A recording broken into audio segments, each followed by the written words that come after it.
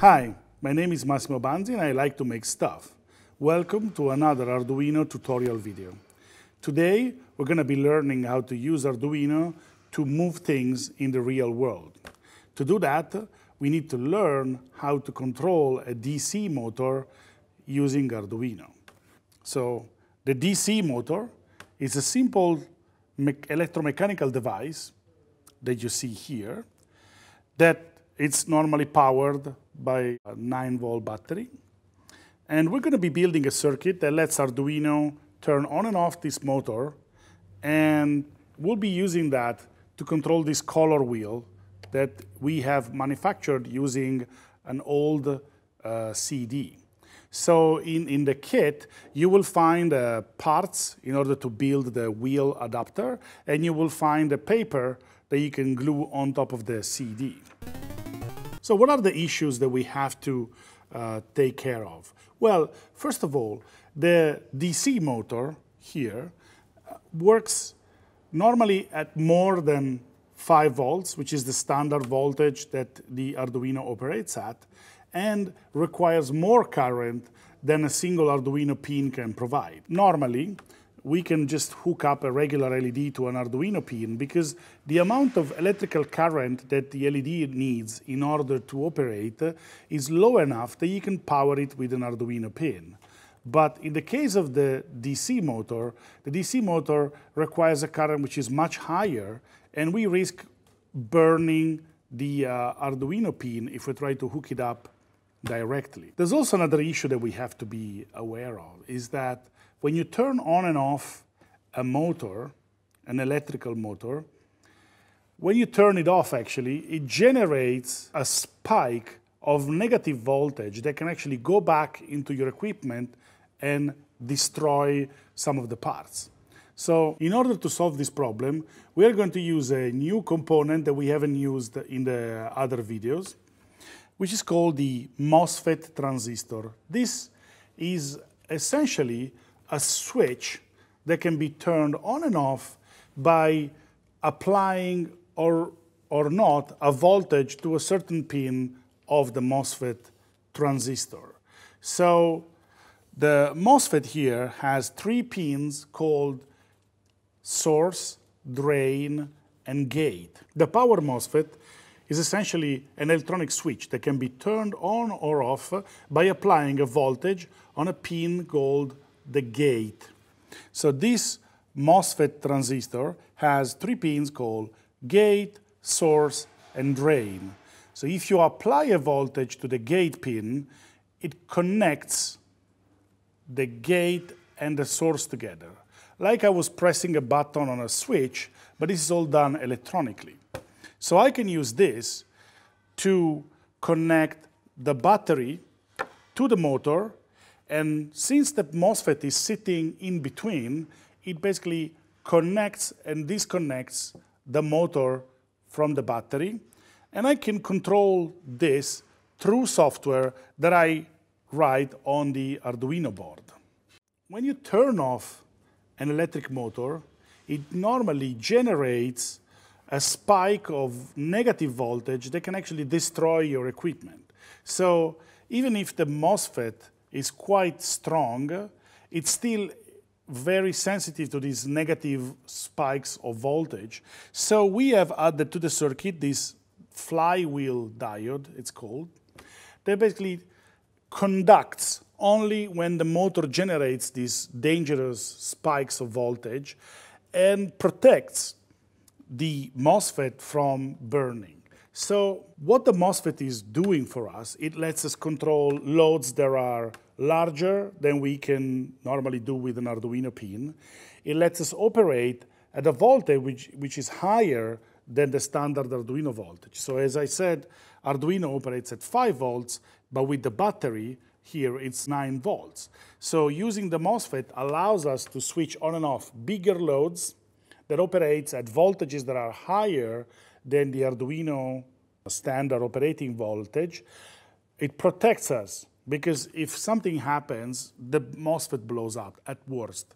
But using the diode, the way we hooked it up here, we can actually protect the MOSFET and we have a fairly reliable and robust way to turn on and off but even change the speed if we want of this DC motor. So let's look at how we can build this circuit. First of all, we place the MOSFET on the breadboard, and then we connect the negative, the black wire of the motor right in the middle pin. Then if you look at the MOSFET from the front, where you can see the markings on the front, then the pin on the left-hand side, that's the gate. So we're going to wire it up to pin number 9 on your Arduino. And then the pin on the right-hand side, that's the ground. So we're going to connect it with the jumper wire to the ground rail here on the breadboard. Then we're going to connect the ground from the battery together with the ground on the breadboard so that the battery and the Arduino have got the ground in common. This is a condition needed so that the power supply on the Arduino and the battery have got the ground in common, so the voltages are all referring to the same ground, and the circuit can operate properly. The circuit works like this. We connect the 9 volt coming from the battery directly to the motor. And then from the motor, we connect the ground pin of the motor to the MOSFET, and then the MOSFET connects to the actual ground on the circuit. So when the Arduino pin turns on and off, a 5 volts voltage will be applied on the gate. When the gate receives the voltage from the Arduino pin, it will connect the motor to ground, and the motor will start to spin.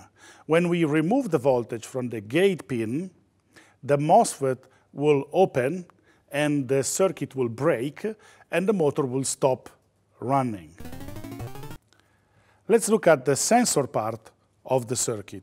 In our case, the sensor is a button. So we wire up the circuit in the usual way. We have a button here.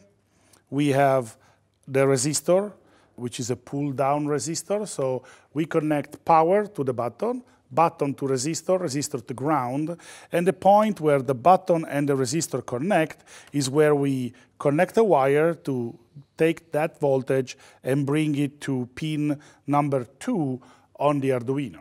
So every time I press the button, the Arduino detects that condition and turns on the MOSFET. So here we have a motor, and uh, there's a small adapter that adapts the motor shaft with this pinwheel that we manufactured using an old CD and a piece of paper that you can find in the kit. So once I created the adapter, I'm going to put a little bit of glue on it uh, so that the uh, CD is not going to fly away the moment I turn on the motor. So let's put a few drops of glue. Let's try.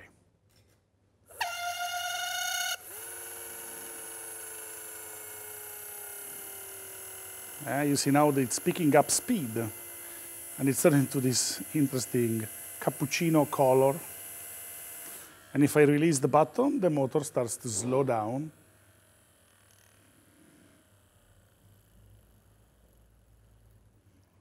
That's pretty good. Okay, so this was our example.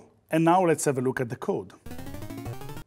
So starting from the beginning, we have a couple of constants switch pin, which maps the switch to pin number two, and motor pin that maps the motor onto pin number nine. And then we have a variable called switch state equals zero, which will contain the state of the push button, and it will be used in an if statement to determine if the motor has to be on or off. Then let's look at the setup. In the setup, we have pin mode, uh, motor pin output. So that defines the pin that connects to the MOSFET and controls the motor is an output. And pin mode switch pin input, that basically says that the pin connecting to the push button, it's an input. Then let's now look at the loop. Inside the loop, we begin by reading the state of the button by saying switch state equal digital read switch pin. So this reads the current state of the button and then places high or low inside the switch state variable. After that, we have an if statement. if switch state equal equal high, so if the button is pressed, digital write motor pin high, so that turns on the motor. Else, digital write motor pin low. And this if statement looks at the state of the button. If the button is pressed, we turn on the pin. If the button is released, we turn off the pin.